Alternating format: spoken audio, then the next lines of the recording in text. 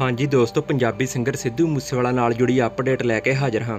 ਮੂਸਟੈਪ album 'ਚ ਆਇਆ ਗੌਟ ਗੀਤ ਤਾਂ ਤੁਸੀਂ ਸਾਰਿਆਂ ਨੇ ਸੁਣਿਆ ਹੀ ਹੋਵੇਗਾ ਤੇ ਇਸ ਦੀ ਵੀਡੀਓ ਸਿੱਧੂ ਮੂਸੇਵਾਲਾ ਵੱਲੋਂ ਦੁਬਈ ਵਿੱਚ ਸ਼ੂਟ ਕੀਤੀ ਗਈ ਸੀ, ਜੋ ਕਿ ਤੁਸੀਂ ਸਾਰਿਆਂ ਨੇ ਦੇਖੀ ਹੀ ਹੋਵੇਗੀ। ਪਰ ਦੋਸਤੋ, ਬਹੁਤ ਘੱਟ ਲੋਕਾਂ ਨੇ ਇਸ ਵੀਡੀਓ ਵਿੱਚ ਸਿੱਧੂ ਮੂਸੇਵਾਲੇ ਦੇ ਪਾਈ ਜੈਕਟ ਵਿੱਚ ਛੁਪੀ ਇਹ ਗੱਲ ਨੋਟ ਨਹੀਂ ਕੀਤੀ ਹੋਵੇਗੀ। ਜਿਸ ਦੀ ਵੀਡੀਓ ਹੁਣ ਸੋਸ਼ਲ ਮੀਡੀਆ ਤੇ ਕਾਫੀ ਵਾਇਰਲ ਹੋ ਰਹੀ ਹੈ। ਦੋਸਤੋ, ਇਸ ਜੈਕਟ ਤੋਂ ਉਹਨਾਂ ਸਾਰੇ ਹੇਟਰਾਂ ਨੂੰ ਜਵਾਬ ਵੀ ਮਿਲ ਜਾਵੇਗਾ, ਜਿਹੜੇ ਕਹਿੰਦੇ ਸਨ ਕਿ ਸਿੱਧੂ ਇਕੱਲਾ ਖਾਲਿਸਤਾਨ ਨੂੰ ਹੀ ਪਿਆਰ ਕਰਦਾ ਹੈ, ਭਾਰਤ ਨਾਲ ਉਸ ਦਾ ਕੋਈ ਲੈਣਾ ਦੇਣਾ ਨਹੀਂ ਹੈ।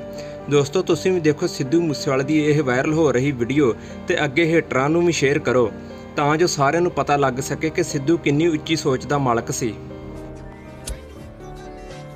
ਦਾਦੀ ਦੀ ਫੋਟੋ ਗੱਲ ਚ ਪਾਈ ਆ, ਖੰਡਾ ਖੰਡਾ ਤੇ ਇੰਡੀਆ ਦਾ ਝੰਡਾ ਵੀ ਆ, ਦੀਨਾ ਪਿਆ।